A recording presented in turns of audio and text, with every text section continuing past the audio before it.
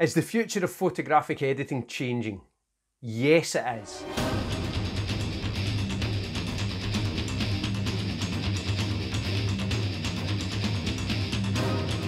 Today we're going to look at a couple of images using Luminar 4's new AI technology.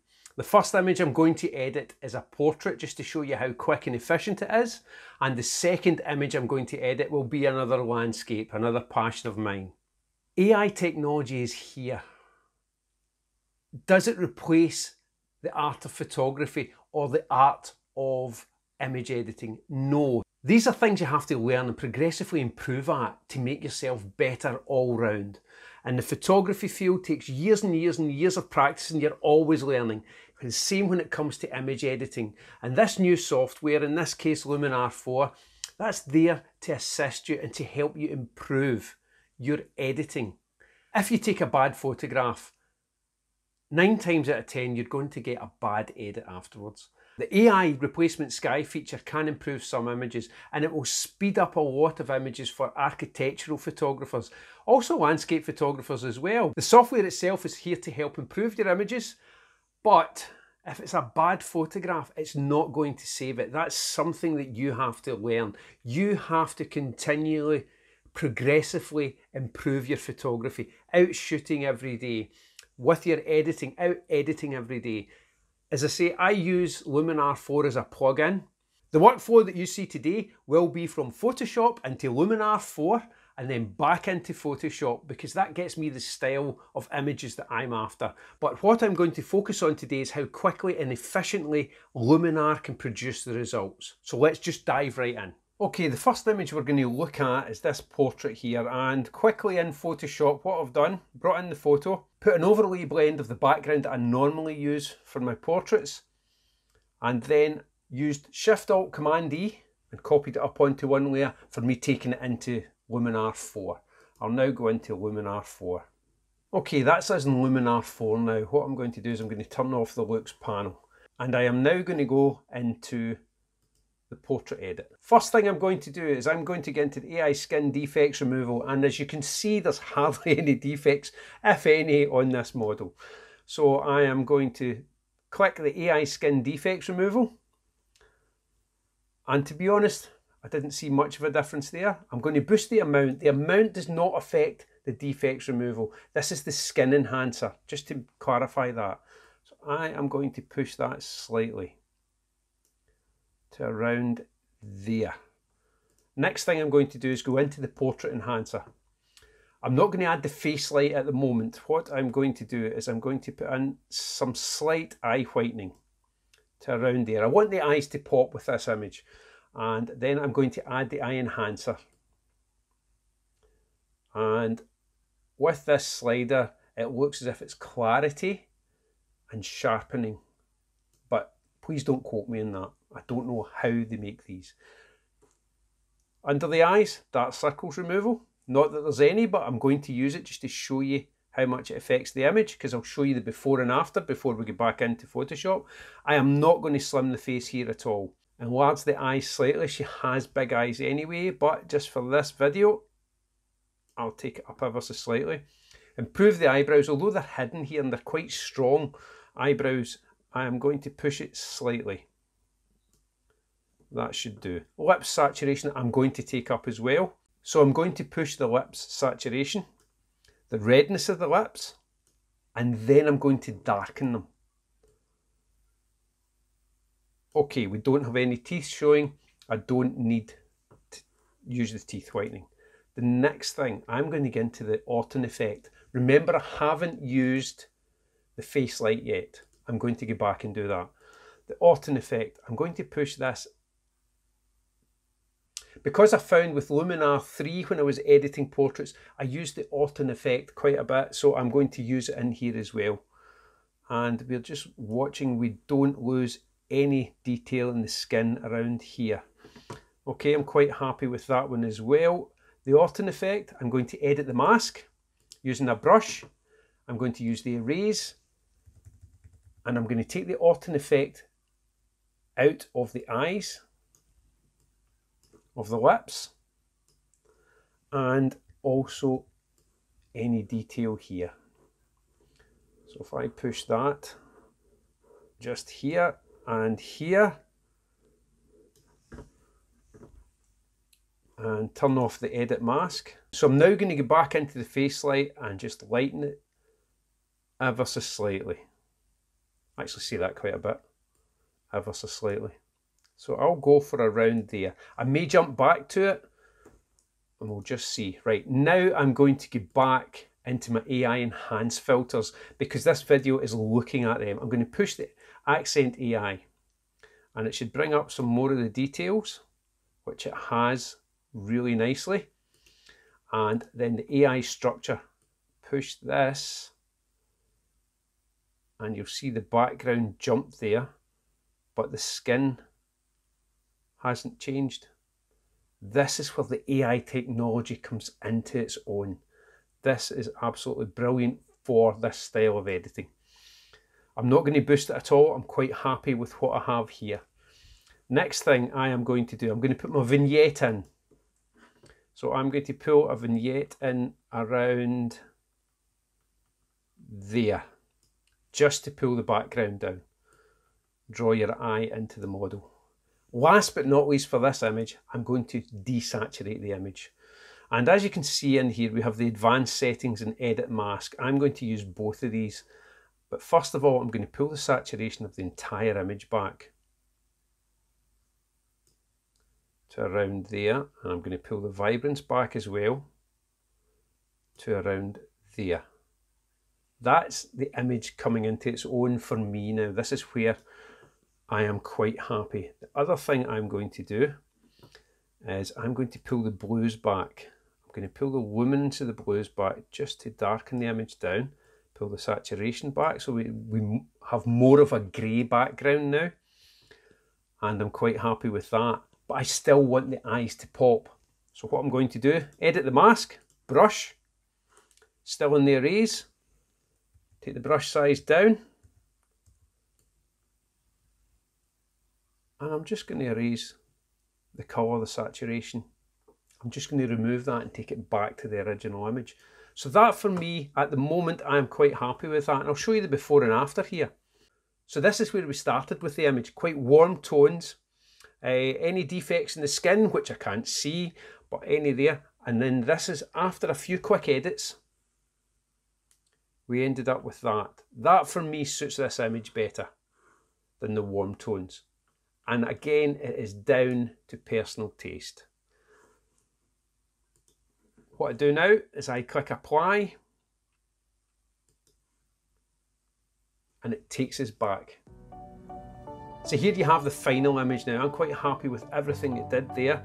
This for me in a relatively short time is the image I am after. If I show you the before, where we started,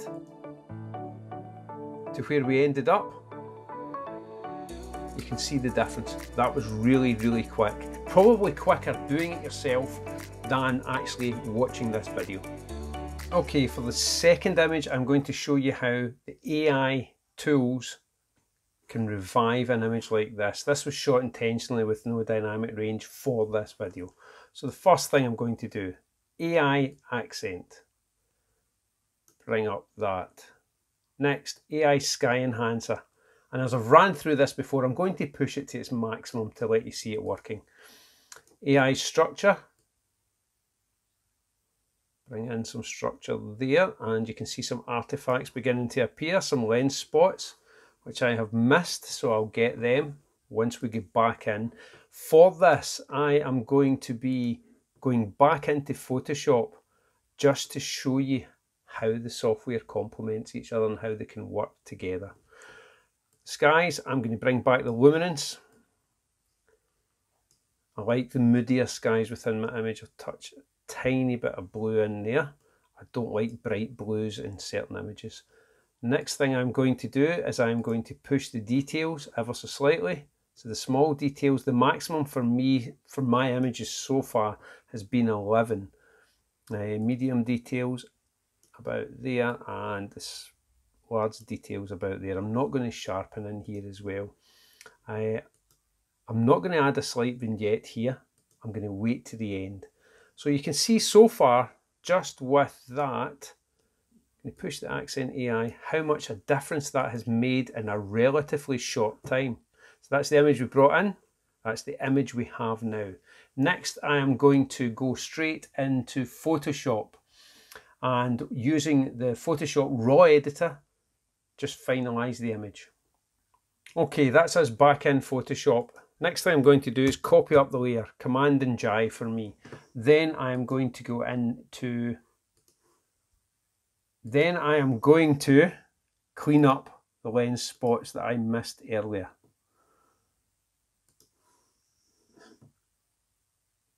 and any more artifacts that I see. I noticed a few in here, which I'm unsure whether they're flies, birds, or what they are.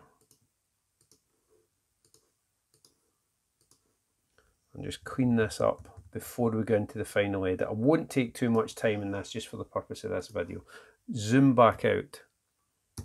Command and zero. Okay, next, filter. Camera raw filter. There's another lens spot up there that I've missed. I'll get that one once we come back out. The reason I don't do it in here is I don't think it has the same results. So, first thing, bring the sky down. I like drama in my images, so I'm going to bring the sky down just to around there. Yep, quite happy with that. Then I'm also going to bring the foreground down. Turn this texture up on the bottom one. I am then going to bring the exposure down, watching for any halos that that will create. Push the contrast. Now you see we're getting more and more to the image that I'm after for this. I'm going to push the texture not too far. Yep, so far quite happy with that. Now I'll add a very slight vignette, not too much because I don't want it to be too detrimental to the image and I don't want it to be obvious that it's there. Next, one of my favourite filters, the radial filter. So you can see so far how everything is working, how everything is complementing each other. Photoshop, Luminar, back into Photoshop. You can see the speed that this is happening at. Although I'm going slightly faster because of this video. I'm going to reset this. I'm going to push the light and you'll notice that I turned off the overlay there. It's just a preference of mine so that I can see exactly what's happening. Right, I'm then going to go a couple of new ones just to bring a slight depth in here. Yep, quite happy with that. I actually may turn that one back down a bit or push the texture I'm going to push the texture and bring it back to about 20. Right, so far I'm quite happy with that. Next, last two things in Photoshop. So an autumn scene, this image was taken five days ago. One of the actions I've created for Photoshop, autumn folder. You can see the colour change there. I'm also going to add a mask to that because I want to bring back the greens. So it's a white mask, so I'm now going to paint in black around 70% and just paint through the green just bring back some of the elements possibly a little too much there. Paint some of that back in. That's a bit better. Next shift alt command E.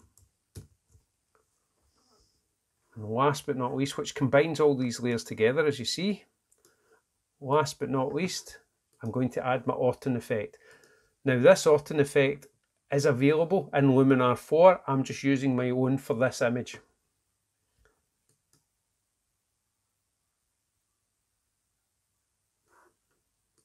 So before Orton, after Orton, I'm also going to pull, I'm also going to mask the Orton effect and I'm going to paint in black to bring out back some of the detail here just to help your eyes read in. I'm also going to take that down there and in there just for some of the trees, some of the detail. And this is quite random. It just helps pick out the image. So if I bring that to full screen. There's the final image now. So you can see how the two softwares work together and complement each other and it's well worth using them. Luminar 4 works on its own as a standalone application or if you prefer to work in Photoshop and use it as a plugin as well for Photoshop, it works just as well doing it that way. This will be the first of a few videos showing you some of the elements within the new Luminar 4 software. I'll be looking at different styles of images like composites, portraits and landscapes and just showing you how to enhance the images themselves. Everybody works differently and as I said previously, my workflow is Photoshop, Luminar, Photoshop. That's how I get the images that I am after to my satisfaction. So I'm quite happy to use the AI technology. I'm quite happy to embrace it. I'm quite happy to replace the sky. I won't claim the image is a photograph, one single exposure, or an exposure blend. I'll say if it is a composite. That keeps me fine and I'm happy with that. So hopefully you can see where I'm coming from with the use of this software. I love my image editing. I love my composites. I love editing my landscapes. I love editing my portraits. Everything about the art of photography, from being out in the field shooting to the final edit, that for me is the art of photography. If you've enjoyed this video, big thumbs up always helps me. And if you're not currently a subscriber and would like to see more, please hit the subscribe button and check out the rest of the videos. And I'll see you in the next one. Thanks again for watching.